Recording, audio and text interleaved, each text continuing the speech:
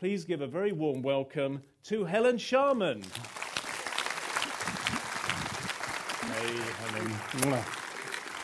Do you want to sit down here?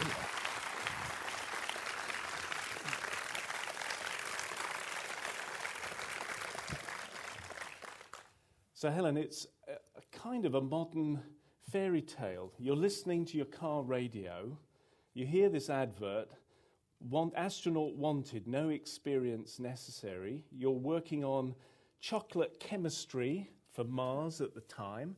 In 89, you answer that advert, and then you succeed ahead of 13,000 other applicants uh, to become the first Briton in space, age 27. Uh, when you saw that movie, tell me about the emotions that come swim into your head when, when you think back to that amazing time. Well, of course, I don't feel like it's 25 years ago. It really does feel very, very clear. And I think it's partly because it's such an intense time. Um, it's something that you've trained for for so long, but then finally you're getting to do what you've done in the training for so many, so many hours and repeats before. Um, but it's, um, it all sort of falls into place. And then it becomes quite an enjoyable time, even though you know, not everything maybe goes exactly to plan, but that doesn't matter because you know how to cope with it. And you can just sort of relax and you're part of the process. And uh, yeah, it was, it was um, a, a great day, the launch, and it was um, a wonderful time in space. You know, uh, I remember so many um, little bits of it, but also the whole thing about feeling weightless, you know, that mm-hmm. freedom of just being able to tumble like that. Um, and you don't need to go quickly like on a, on, a, on a trampoline if you're doing a quick tumble because you're going to come back down on the trampoline again. And so, yeah, we can just keep on. I saw you docking with a dollop of water there in orbit. How, how, many, how much practice did it take to do that little manoeuvre? Oh, I think that was a um, bit of bread or something, wasn't it? But, um, yeah, a bit of bread, it's, it's, it's, it's very natural. Actually, it's, it's, it's, you adapt very quickly. Um, human beings are really incredibly adaptive. I'd already taken two days orbiting the Earth before we got to the space station. And I think in those two days, it's actually quite, um, quite a good two days. Tim Peake, of course, took only six hours to get to the space station. So nowadays we can do it, um, if the orbit's al- aligned nicely, we can do it much more quickly. But those two days were useful, I think, because I got to feel weightless for two days. And even though I couldn't stretch out and do somersaults inside the Soyuz capsule, you, you adapt. And so you feel it. You know, every time you lift your little finger, your finger has no weight. So the signals going back to your brain immediately tell you how to move and how to adapt. So when you do finally open the hatch and float into the space station, it all is quite a natural movement. And you forget, you know, I can actually feel the seat beneath me. If I think about it, you're mm-hmm. probably not mm-hmm. thinking about it because you, you always sit down, but you forget what it's like to actually sit down. Yeah? And it, it was very touching yesterday because, I mean, sadly, they couldn't be here today, but you, you were reunited with your old crew members, Anatoly Art, Artsebarsky and Sergei Krikalev, who holds all those amazing endurance records. But it's hard to explain, but there's an incredible bond, isn't there, between you and your crewmates? you go through a lot together. I mean, not just in the training, but also during the launch. Um, physically, you're very close. I mean, really close. Elbows sort of overlap pretty much in the Soyuz spacecraft with all of the spacesuits that you've got on. Um, and any anything that is, is not quite, let's say, normal situation means that um, you're overcoming that together. And I think that anything that you do in life binds you, doesn't it? When you've had to really work hard with a, a group of people, um, and then especially if you um, if, if things go a bit wrong and, and you work together to, to get over those things, then it does. It, it binds you together nicely. And actually, now 25 years on, um, I won't say it's just like it was yesterday because we're all, all a bit older and a bit podgier and so on. But it's it's yeah, it's a nice feeling to be back with them. trying to hold it in actually, Helen. But tell me when you now, Mir was um, it's kind of legendary space station, um, and I remember, gosh, and, and some quite big dramas happened in Mir, collisions, leaks, fire once, and so on. Um, the International Space Station must seem like total luxury compared with Mir. G- give us a little taste of what life in Mir was like, say the food and the smells and all the rest of it. So I think the big thing is if you go back 25 years, it's, it's hard actually to imagine general life every day nowadays. We have communications so easily. Um, even here in the IMAX before we started, you know, we're all the astronauts, we were all sort of on our mobile phones, checking emails and so on. It's, it's so easy. And nowadays on board the space station, they can do this. They can email down to ground to their families, to friends, to mission control. They've got the, um, a GPS telephone, and they've got connections almost all of the orbit. Um, so there's very little time when they are out of contact. So back 25 years ago on Mir, we had no email. Um, there was no phone like that. We had to use the radio to contact mission control. Um, the food was um, uh, perhaps, I mean, it's still dried even now because you have to take up food that's preserved. So it's cans of food, it's dried stuff. I presume it was very Russian, wasn't it? Wasn't it borscht? We Was there a bit of vodka slipped in there, maybe? well, lots well? of lots of borscht. I'll go that far. Um, but yes, but it was, it was a Russian space station, as you say, a Soviet Russian space station. So we had Russian food. Cabbage. cabbage soup. So Yeah. yeah, borscht is sort of cabbage and beetroot together. Um, we had that dark rye bread. Um, it's actually very very tasty. Um, tomato sauce um, with um, tuna, let's say, with sort of um, a, a dark a darkish kind of uh, fish, and meat and potatoes. And didn't you smuggle up an orange for the Mir crew? So we, we knew that um, so the two crewmates that I was going to meet on board Mir had been there for six months when we arrived.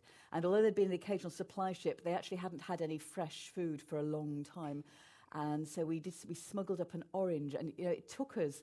It was this was 1991 in what was just still the Soviet Union, and really getting fresh food was very, very difficult. And it, it, we worked really hard to find this orange. I mean, I went to a number of places. I really did.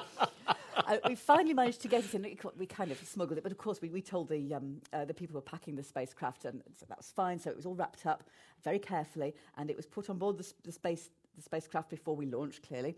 And off we went, and two days in orbit, and we made sure it was all careful, carefully sort of kept. And we got to the space station, and we greeted them with hugs, and it was a, a joyful evening. And then the next day, we were unpacking our bags, and, and I carefully got this orange out, and I gave it to Victor Afanasiev, the commander there.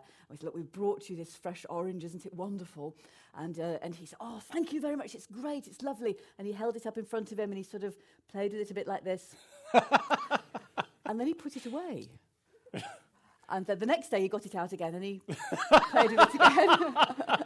and for three days he played with this orange and we were willing him to open it up because you, don't, you don't smell anything on board the space station, or rather the, the, the smell, the chemicals that make us smell, of course, make us we, we believe we can smell, we get used to those. So the brain just sort of blots them out so you don't notice the smells. So I was really looking forward to this orange being opened and being able to smell something.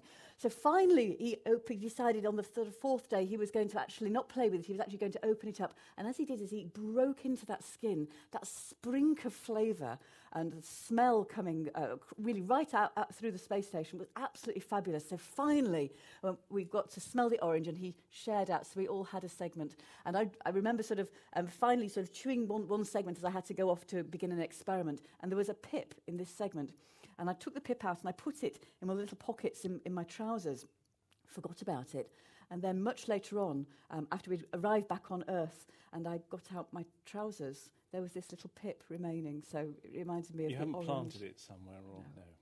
And so that sounds like one of the lovely experiences. Um, what, what, what was perhaps the toughest experience you had in Mir? Whoa, toughest time actually in inside me. The the the most uh, strange time for me was uh, the, the day after we'd actually docked, and um, uh, everything seemed to be fine and normal. And suddenly there was an alarm, and the lights just went out. And then the fans stopped working. Of course, you need the fans to circulate the air because warm air doesn't rise if it's weightless. Mm. So, orbiting space stations, you suffocate in your own breath if you don't artificially circulate the air. So, fans make the air go around. Fans are very noisy. So, suddenly the fans went quiet and it was dark. And Victor said, Oh, that's okay. We thought this might happen. we'd, we'd had a new module had recently gone and docked onto the space station to increase the size, and that was all great and planned. But that module was shadowing some of the solar panels from the sun, and that meant that we weren't getting as much energy in the batteries as we really needed. Now, for two people on board the space station, it was absolutely fine. For another three arriving, that made five altogether, it was touch and go whether or not it would be fine or not. And they were hoping it would be fine, so they thought not to tell me. So when Victor, oh no, we thought it would happen, so he explained, and then, then it happened a few times after that, and I, I knew what to expect after that. Now, I notice in the audience we've got lots of young, budding space explorers. So, what, what's the one bit of advice you'd give them to become an astronaut? or Maybe, hopefully, be one of the first people on Mars, if not the first. C- can I go to two? Because it still is, I'm afraid, e- even um, one day we are going to need all sorts of people, scientists and non scientists alike, but still, the best way for people who are living now, who are young now, to get into space is to just make sure that you're studying science and then later on, maybe science or engineering, those kind of subjects. But I think the other really important thing is that it's very much a team environment in space, especially these days. You know, very originally, originally we had Gagarin, we had Valentina Tereshkova, um, we had uh, all the Gemini Mercury people who often flew on their own. We don't now. We fly in big teams of people, often international teams of people. And the really important thing is to be able to get on well as part of a team and also the, the tolerance of living in even the space station is relatively small compared to the, the vast space we have on Earth. So it's being able to cope with a group of people under situations that aren't necessarily what you're normally used to. It's a little bit of a hardship, even on the ISS. It's not mm, quite what mm. we'd have on Earth. Um, and, and to be just a normal kind of regular person. Nobody wants to go into space with somebody who's terribly excitable all the time or who's really depressive. You know, you want to, to have a normal kind of conversation yeah. and, and not to, to react strangely to odd circumstances. So good teamwork, normal kind of people, and lots of science. So, very last question. We've got your Sokol spacesuit downstairs. What would tempt you to put it back on again and go into what sort of mission would you like to do? Oh, I'd go on anything. I'd say Easy to please. Well, look, we're incredibly fortunate to have with us um, a galaxy of Soyuz and shuttle flown astronauts with us. So I'm going to uh, invite them up in two groups it's, uh, and, and push my linguistic skills uh, to the limit here. But let, let me ask the first um, group of astronauts to come up and sit on the stools at the back. So if we can have Franz Viehbock, Reinhold Uvold, Ewald. Ewald, I beg your pardon, Michel Tognini, uh, Jean-Francois Clervoy, and Claudie Haigneré. I know Claudie's over there. Um, Jean-Francois did three shuttle flights, including a shuttle repair.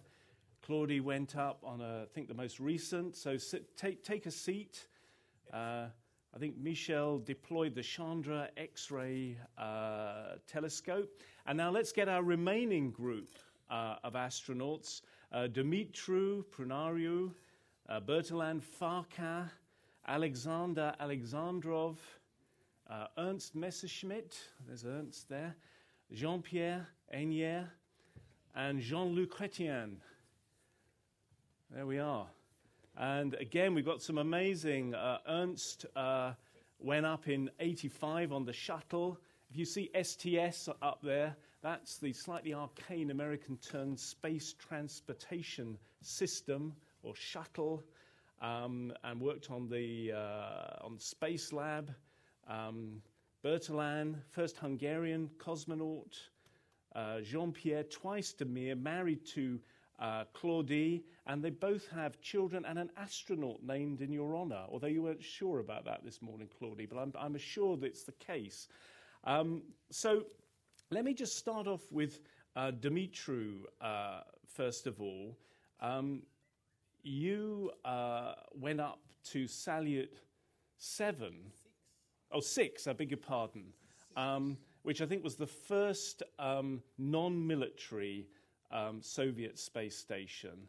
Now, we've been talking about how Mir was not very luxurious compared with the International Space Station. Salyut 6 must have been quite a tough uh, assignment. Um, you're also the president of the Association of Space Explorers, and you've all been meeting here today. Just tell me a little bit more about the ASE. Actually, all of us here we are members of the Association of Space Explorers. This is the only professional and educational association of quite all astronauts and cosmonauts of the world. We are now about 400 members from 37 countries, from a total number of astronauts and cosmonauts of 547, if I'm not mistaken. Yes. Um, we organized this association having in mind the fact that we have seen the earth from up there, we have seen its beauty, its fragility, and at the same time, we just feel that this earth needs our protection, our protection of all of us, not only of us, of the astronauts. And just to promote this idea, just to educate the new generation, and uh, just to debate between us on professional uh, problems, topics, we organized in 1985 this Association of Space Explorers. In the beginning, we were only 25 from 13 countries. Some of them are here me, Bertie, Jean Luc Chrétien. And uh, now, as I said before, we number about 400 from 37 countries. Each year, we meet in different countries, organize planetary congresses, and uh, meet people, students, uh, researchers, and promote the idea of uh, approaching space for peaceful purposes and to study as much as possible in this uh, field of activity. Thank you very much. Thank you very much. Now, let, let me just ask a couple of questions to um, our distinguished guests sitting on, on the stools. Um, you know, either something you had to fix, a problem uh, you had to fix or overcome in your space mission, or something that you'd like to see in the future of uh, space exploration. Um, perhaps, um, given that Reinhold, you like um, amateur dramatics, why, why, don't we start um, uh, with you? What, what, what, what, was the one tricky thing you had to do with on your mission, or, or what, what's your future vision thing? Well, um, it's really on amateur level, so I'm sorry. um, well, uh, astronauts, cosmonauts on board of the space station, they are all in one. They are housekeepers, they are scientists, uh, they are their own moderators for their own TV shows. And so um, the, the, the time is very short to prepare these things, to, to get adjusted. And uh, hearing Helen talk about her flight immediately brings back that memory as well. Uh, and it only functions because we were a very good crew. We had, uh, I had four Russian friends uh, that I flew with. Uh, I had an American astronaut at that time on board of the Mir station, so everyone was looking into how to run the space station. And we had three control centers that were talking to us on a link that was just line of sight. Can you imagine? So it was no satellite link possible at that time with the Mir space station.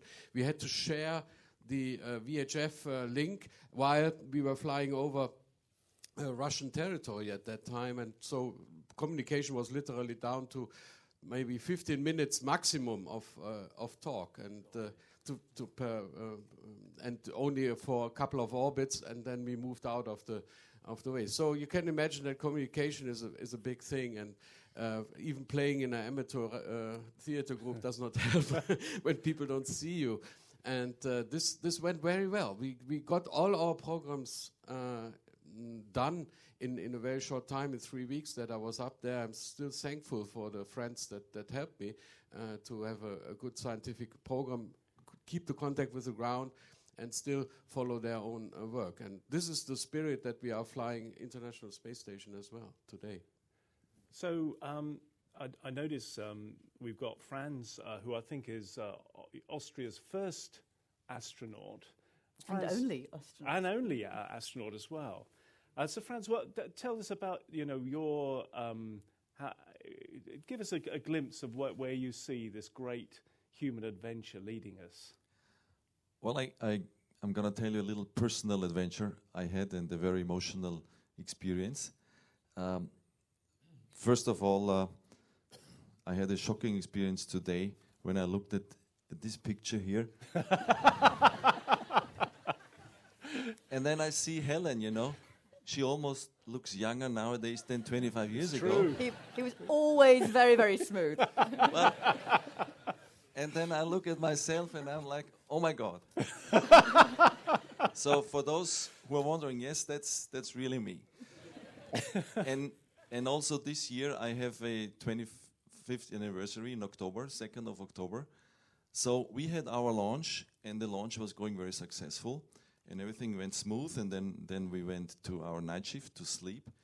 And uh, first thing next day in the morning, mission control was was waking us up, and they immediately called me, uh, you know, to to communication. And I thought, oh, what's happening? Because you know that was not planned. That I I need to talk to them. So I thought, what did I screw up? Uh, but actually, I received a very nice and beautiful message that I was becoming father the day before after the launch of the rocket. My wife just saw on TV, she's sitting here. Uh, she was watching the launch, and then You know, she was going to the hospital to have her launch. so, you know, that, that was, of course, a very emotional moment for all of us. Um, then also in, in, the, in the space station when we met uh, the others. And we had a very, very good time. Uh, and, and this certainly contributed to the, to the success of the whole mission.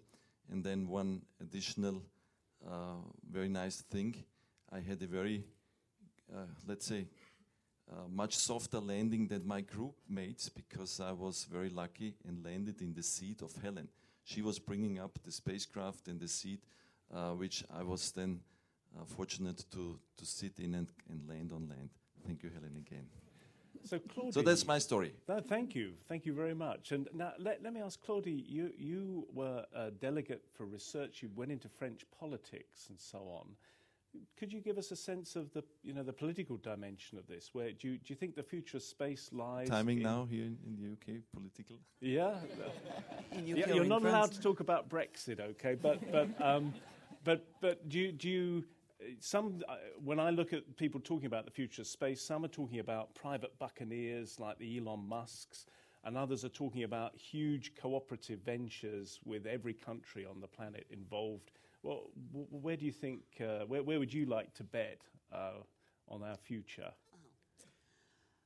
Um, I, I think really I, I had a dream when I was 12 years old after having seen the first landing on the moon. So I became an astronaut.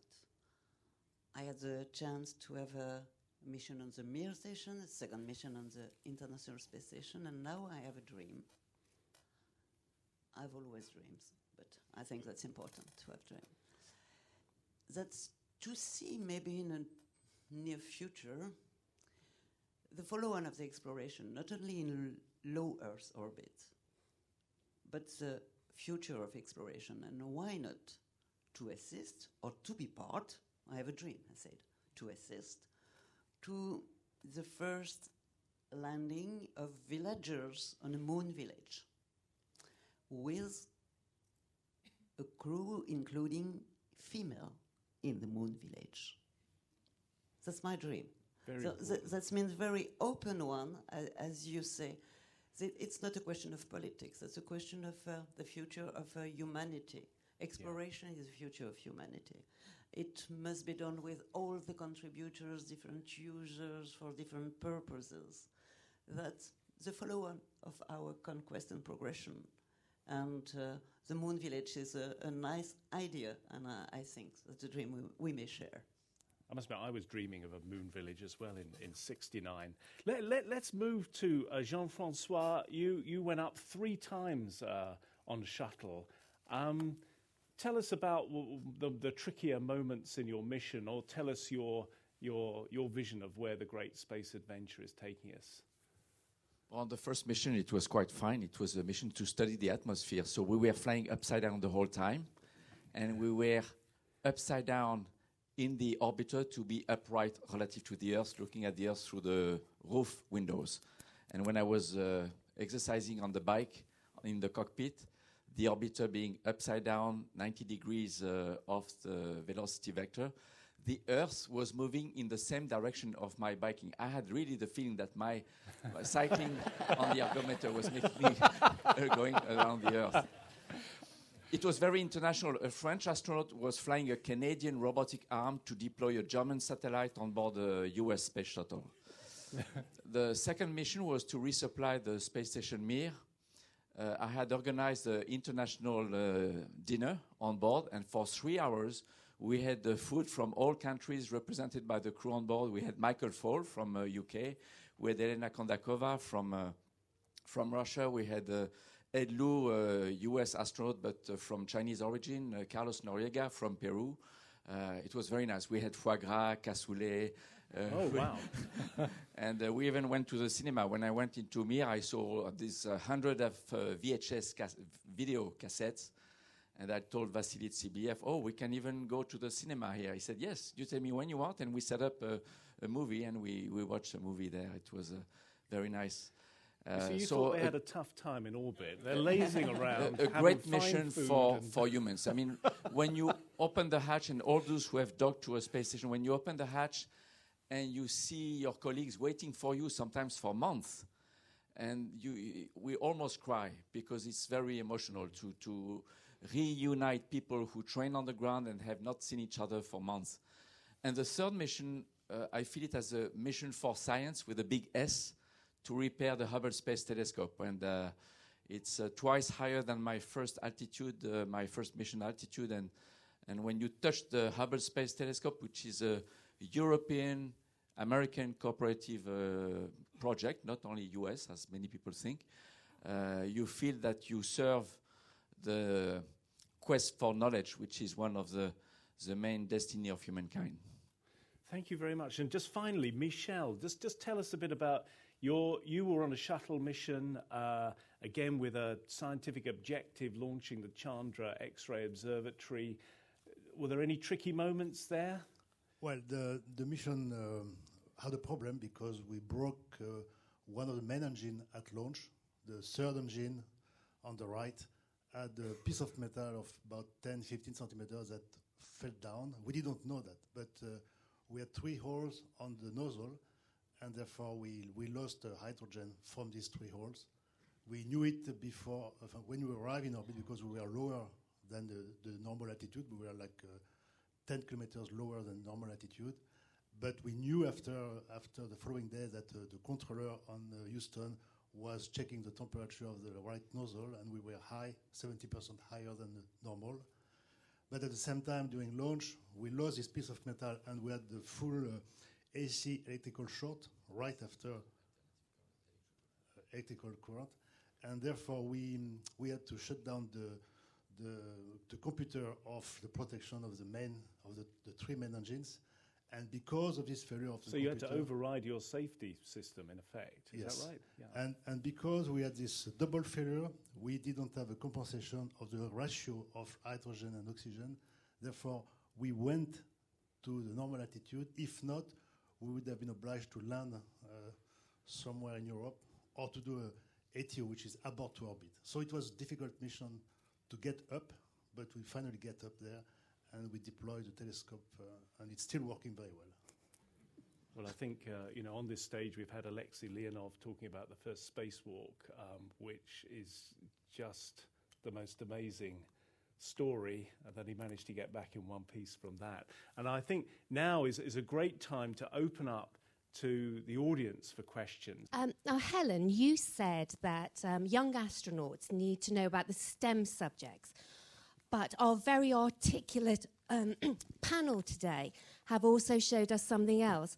And I know in Europe, people will often say people who speak two languages are bilingual, people who speak more than two languages are multilingual, and people who speak one language are English. Should we also be having more, um, more emphasis on learning other languages? I think Tim Peake said one of the hardest things for him was learning Russian. Yeah, I think learning Russian certainly was one of the hardest things for me as well. Um, trying to think, who's, um, so who would like to answer a question about English language? But maybe actually um, Dorin, who's um, actually fluent in Romanian, French, Russian, English, of course. Um, um, uh, speaks also Hungarian and, and a number of others. Okay, Hungarian, his wife. So, um, but uh, perhaps on behalf of everybody who's um, yeah, who, who, who's here, who might, might be wanting us, to, the English, to speak a little bit, bit more foreign languages. Okay. Um, in the school, I learned French and German. And when I was selected for a space flight, I was 25 years old. And uh, our officials told us that, uh, guys, you have to go to a star city in Russia and uh, to be prepared for a space flight. And I asked them, okay, but uh, how many translators will come with us to help us? And they laughed and they said, You have to learn Russian. Wow. Uh, we started in Romania for two months before going to, to the Soviet Union that time. But I, I know that uh, I barely learn how to write with the uh, Cyrillic uh, letters and to understand a few words uh, and to express uh, very simple things then we went to Russia, and they took note that after about two weeks of teaching us a lot of uh, very complex space things, uh, that we just look at them, uh, smile, and uh, understand uh, just words, nothing else. And then, of course, they organize uh, very specific professional lessons of Russian with us. And it's hap- it happens with all of us. We had very good teachers and we learned Russian very professionally. Uh, we learn uh, grammar, we learn uh, literature, and we learn a lot of things so that we could speak Russian as the Russians do. And then after that, when I went at the international level, uh, I've seen that, okay, I have to speak English. And I start to learn English. And now, okay, I use three main uh, languages at the international level. I work uh, very much with the UN, and then I need Russian, French, English. Uh, I'd like to know Chinese, maybe Spanish, uh, some other languages, but I don't think I have time to learn all of these languages now. so that was my experience with Russians. Let's, uh, let's have another question. I think we've got one uh, right over here to, to Helen. Um, when we I'm listening to you, it seems that these years haven't taken a, um, a lot of time in your minds. It seems very proximate, that time that you spent there. But I'm curious, how do you think that you would um, represent, what do you think that you've learned in those 25 years looking back? How would you have answered um, a question about what we need now and what we need then? How, how has your perspective changed, do you think? So I've certainly changed in terms of um, how I. I've, I've learned to talk more about uh, science in a, in a different way, I think, and people have taught me um, a, a way of communicating, which is um, certainly when I've gone into schools, teachers have advised how best to talk about science. Um, but yes, um, times change and we, we all grow with the times. I mean, perhaps I should throw that question actually to, to somebody, perhaps um, Jean-Loup, you've, um, you've been you, perhaps one of the, the, the earlier fires in this group. Um, there was one or two flew before you, but you've also seen many changes over the last few years, um, many changes in terms of what, what, what ESA wants and what France wants, because France has had its own programme quite separately to ESA as well. How, how, how do we move with the times and, um, and, and, and learn to communicate in different ways? So you you mean that uh, I should talk about the difference between the selection uh, so many years ago and uh, and today? What we suggest to these young people? So it's what m- they are uh, expecting? I mean, what they should expect? I think the question was, was more um, over the last 25 years, how have we changed as individuals? How have, in terms of uh, our perceptions on, is, am I right in terms of what, what's happening um, and what the kind of things that we do talk about? Um, do you talk about the same things um, to a French public audience now that you did when you flew, for instance? And um, what we keep saying to uh, young people when they uh, tell us uh, would like to become an astronaut, uh, what do you suggest? What is your uh, uh, counsel?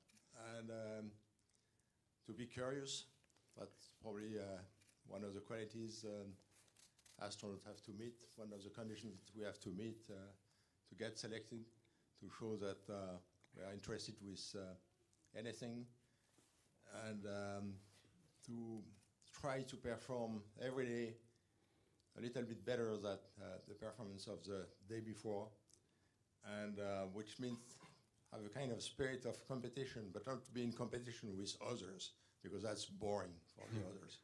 A lot of people think that we feel like being in competition, and we are not. We are not in competition with each other. We are uh, supposed to work as a team, as a crew, as a crew member, but we need to be in competition with ourselves. Uh, that again, I repeat, that uh, to try to perform better today than yesterday. And, uh, and maybe the last one is uh, to be uh, patient. Most of us here who have flown several times um, have waited many years between each flight. And um it's a long preparation, but the, prepar- the preparation doesn't last on the time that has uh, been the years that have been between two flights.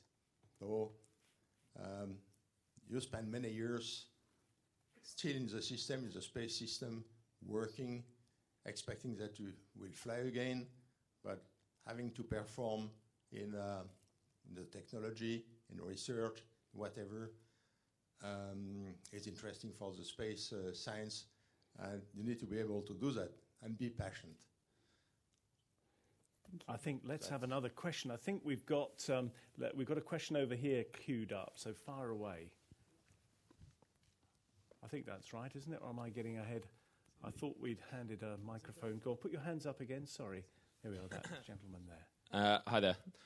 Um, I just have a question for all of you about what your feelings are on space tourism. So, at the moment, you're all members of quite an exclusive club, uh, and uh, a club of explorers and adventurers.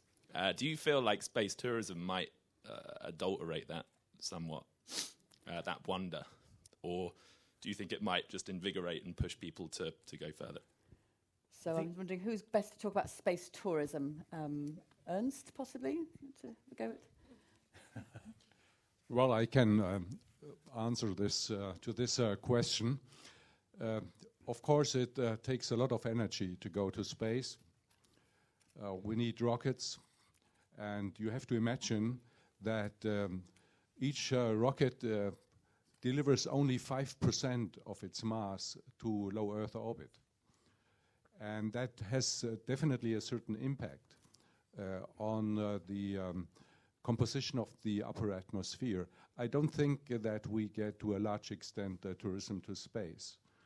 Uh, we have been learning also on, on Earth that we have to protect certain environments. When you want to go to um, Galapagos Island, uh, you not just go there, you have to take everything with you back. And you have to pay a few th uh, thousands of dollars uh, to be able to get to that island. So we have to learn that not every uh, every millionaire can uh, should be uh, brought in a position to do something because he is a millionaire. But we have to think about uh, protection of Earth, of the environment, and I believe that on the long run, it's uh, more for specialists uh, that work in low Earth orbit as a sort of an infrastructure for science, like uh, science uh, for uh, in the weightlessness condition or new transmission systems for internet, navigation systems, etc. And exploration further deep into space, back to the moon, to asteroids, to Mars, that should be left uh, for for those who have a good reason to go there, for getting um, knowledge, new knowledge, getting uh, technologies um, to increase uh, the horizons, and also for the, in, in general, of course, for the benefit of mankind. And we have to prove uh, for each mission that it's, it's worth doing this. And I think Franz wants the word. um, well, let me ask the audience if you would have the funds, who would like to fly into space? Oh, look at this. Wow. I would say 95%. Guys, we need to get the other 5% also. At our meeting, I know you said you wanted to ask everybody. We don't have time to get every, everybody to answer, but we had a, a meeting of, of, our group earlier on today, and one of the uh, comments that was made was that if you ask one astronaut a question, you'll probably get three answers. If you ask 20 astronauts, you'll get 60 answers. So each one of us would give you a different answer, I'm sure, but you, you have one opinion there. I think we've got another question up here. Fire away. Здравствуйте. Oh, that means hello in Russian. so, um, I was just watching your film earlier, um, Helen, and um, I just want to ask you really practical questions. First time I've ever met astronauts, so i would just like to know what it feels like when you land, because you looked a little bit wobbly. What, what's your actual physical feeling when you land back on Earth? Спасибо. Thank you. Well, you feel incredibly heavy and often a little bit dizzy sometimes. Sometimes it's just difficult to get your balance a bit and feel a little bit faint. Um, I'll give you a quick answer because really I think we've got so many people here who can give you perhaps a much more full answer. Um, I know Claudie is a, a, medical doctor, so perhaps you might be best, Claudie, to, to, to say a little bit more about what, how you feel when we land um, and perhaps why that might be.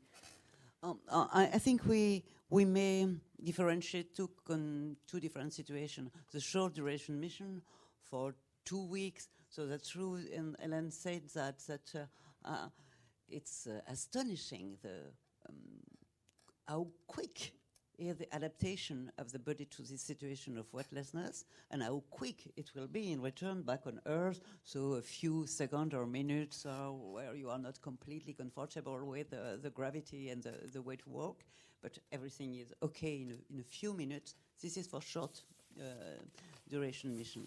And for the long duration mission, and I'm sure you are aware that a few weeks ago came back from space uh, uh, Scott Kelly and Mikhail Kornienko after a one year mission.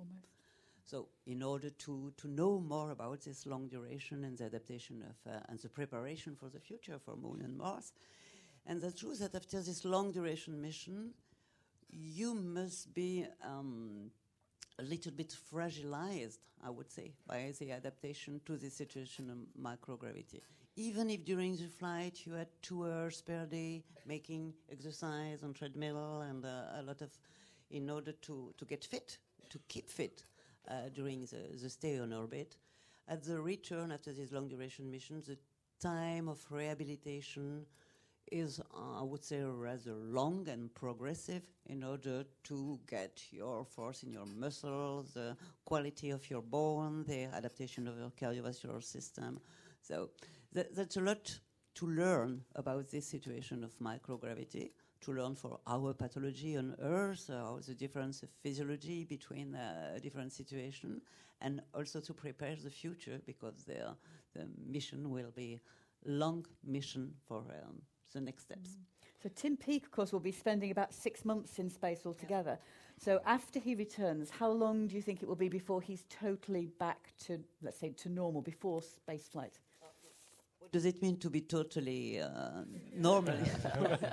no, I, I think if you want to look uh, closely to the bone, for example, the quality of bone, so it's it is said by the scientists that you will need six months to have the rehabilitation and recuperation in this, uh, I would say, microscopic level of the, the, the bone quality uh, to be fit. Uh, he, he did a marathon, uh, I think.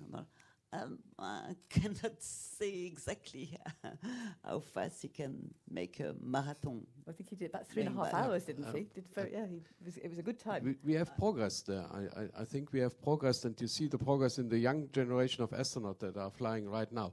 They use a device called ARED, which is an uh, advanced device of, over the treadmill and the velocipede, the, the uh, ergometer that we had. It's using bungee cords to uh, to put force on your body. And I've seen really people uh, uh, after a six months flight um, on the day of the landing return to uh, their crew quarters upright, waving, smiling, much in better condition even than I was after three weeks. If we take a quick look on what's going to happen to Tim, he will be uh, met by uh, rescue forces in the in the middle of uh, Kazakhstan. In the steppe, he will be taken by a helicopter to the next airport, and there uh, there is a crew plane, a NASA crew plane no- normally that takes uh, the, the NASA astronauts from directly from Kazakhstan uh, to the US. But um, in Europe, we, we do a detour. They will be landing in a in a Scottish uh, airport to refuel, and will be met by a, a by a plane that ESA, the European Space Agency, sends there, and then uh, Tim will be coming into um, a rehabilitation center in Cologne. So that's what we call direct return. This is a new scheme. We spend our time in Star City, the uh, American astronauts in Houston, but the European astronauts now uh, go through that uh, rehabilitation in um, uh, Cologne in a specialized center. And this is a, a huge progress, and it, it's much quicker, the rehabilitation, than it was for our uh, flights. I think we've got time just for one more question. Um, let's. Uh, uh, okay, we've got one just down here. Go on, fire away. Oh, good. It's a younger, younger member of the audience. This is great. They're fighting over the microphone. Uh, how how long did your training take, and did you think it was useful? Whoa. I think if none of us had done any training, we wouldn't be here anymore. So I, perhaps this is a really, really quick one. So we blast our way along the front line and then along the back line. 18 months, yes. How long your training? Three years. And was it useful? Very, very useful. I did, I did a full cycle of training. It was just the schedule of our space flight. We started training uh, in 78, and I was scheduled to fly in 81. Some of us were scheduled in 79, in 80, so I was scheduled in 81. So keep, keep the microphone moving. Come on, let's. Uh, Uh, it took me a few years. Not know. So from beginning to first flight, how long did you have? From the be- very beginning of training from the from the selection to the flight. Yeah. Uh, 85, 93, eight years. Well, and, and was it useful? Uh, not always. I mean, I don't know if you have seen the this mo- uh, English um, American movie uh, where uh, the astronauts are trained for the moon, and uh, they are attached on, uh, on on a seat like that, and there is a simulation of fire before them just to see their psychological reaction, and sometimes they put a needle in, the top of the hand, and the astronaut asks the uh, the uh, doctor, uh, "Is that really useful? Uh, wha- what is that for?" And the doctor said, "I don't know exactly, but uh, I think it's no it's no use." After uh, selection, uh, I had um, two years of training for a space lab mission um, with uh, 70 experiments, and I thought it was uh, too short to understand all details. Uh, in fact, in, uh, required. So um, I would have liked um, much more training. Uh, like we have today, uh, four to five uh, years before you go to the International Space Station. Now, this is Bertie from Hungary. Uh, Thank you. uh, this is mine. it was 36 years ago, ago, and after the selection, I was in Star City mm, only two, day, uh, two years. And for us, it was very, very interesting because uh, we flew with Russians, cosmonauts, and Russian language for our group mm, in the program Intercosmos was very, very um, important. And I flew, I was in space only eight days. It was very fantastic for me, no problem. Weightless, this is good, very fantastic, this is unique. Uh, the landing was very dangerous because we have the ground 1G. In centrifuge, we got uh, 8G. I was a military fighter pilot, no problem, 9, 10G. Some mm, very small seconds, maybe. And uh, during our landing, Kubasov and me get no about 45 G. This Ooh. really very very fantastic. Wow. Go on. so we're going get- quickly, Jean, uh, Jean-Loup, do you want to very Jean-Loup. quickly, how long you're training from, from s- sort of begin from selection to first flight? Very So f- quickly. for the first flight, we had the same training. It was 1980, so the standard Russian uh, training. So one year of theoretical uh, courses and mostly learning uh, Russian language. And then the sec- second year was uh, more practical. And but again, it was a standard training th- that we all had at that time. On the second flight, uh, we had, uh, I had an EVA um, schedule that we performed on board the Mir.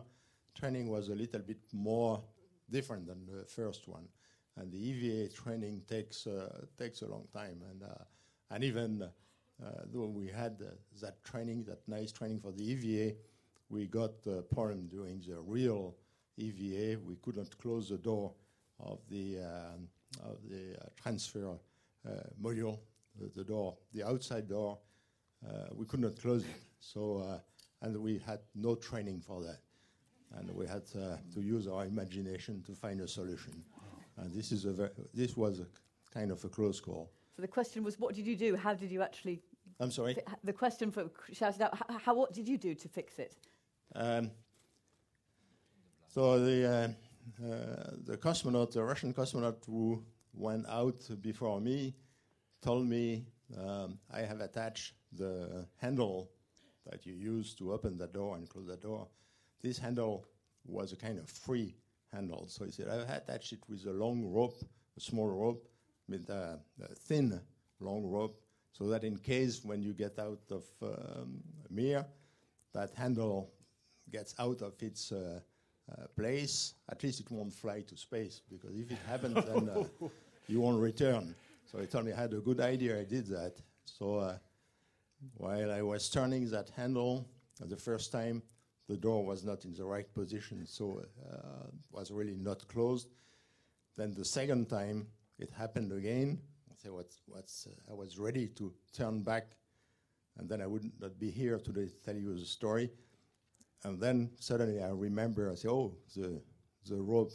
And in fact, because it was very dark and my helmet was uh, covered with water, um, the rope was really around the handle, and uh, and that w- was why it was uh, blocked, and uh, was kind of a miracle that forcing on that handle. So okay, fine, I broke the rope of the Russian cosmonaut, and now we have the door closed. But I was really very close to do it again, the wrong side, and then would not be here today to tell you the story.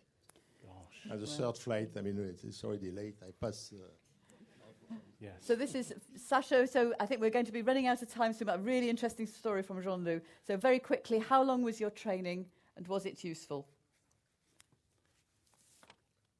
And Alessia's helping us. Yeah. Ну, я готовился два раза. I was training twice.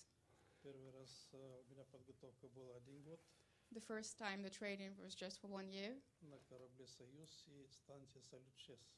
It was a spaceship Soyuz. А второй раз готовился полтора года Second time was a year and a half на корабле «Союз ТМ» on the spaceship Soyuz и TM станция «Мир». and space station Mir. И каждая подготовка имела свои особенности и полезные э, нагрузки. Every training had its own special features. И мне очень нравилось, что впервые мы э, проделали эксперимент э, для сна космонавта, который должен лететь на Марс. And I really liked the fact that we studied various experiments to show how people can sleep to go to Mars. Потому что человек без сон не может жить больше 10 дней. Because without sleep, a human being can't survive without for 10 days. А дорога до Марса дов- довольно долгая. And the trip to Mars is very, very long. Поэтому мы р- р- провели эксперимент один месяц на Земле, That's why we did one experiment for a month on Earth. снимая 16 параметров. We took 16 criteria Это сердце, мозг, э, глаза heart, brain, eyes, и так далее. and so on. А, Во время полета делали эксперимент и после полета один месяц. And we did some experiments during the flight, and when we came back, another month of experiments. И прогнозы ученых, что космонавт может восстанавливаться во время сна, And scientists predicted that a human body can uh, rehabilitate itself during sleep, оправдались, потому что при нас, э, and it was true. когда я спал, у- были три фазы сна. Глубокий сон, поверхностный сон и разбуждение. And it was true because there were three stages during the sleep deep sleep and two additional stages. Так что дорога к Марсу проправлена. Те желают, могут полететь спокойно к Марсу. That's why there is a road to Mars, and if you want to, you can always go.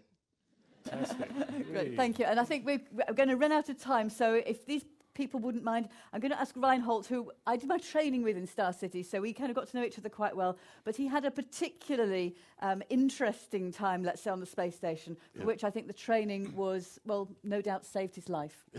yes, I trained within seven years. I trained uh, twice, one and a half year in uh, Star City.